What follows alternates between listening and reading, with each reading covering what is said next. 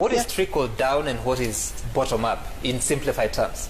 uh, by working from the bottom down. Top down? Yeah, from up to to you know from top to bottom.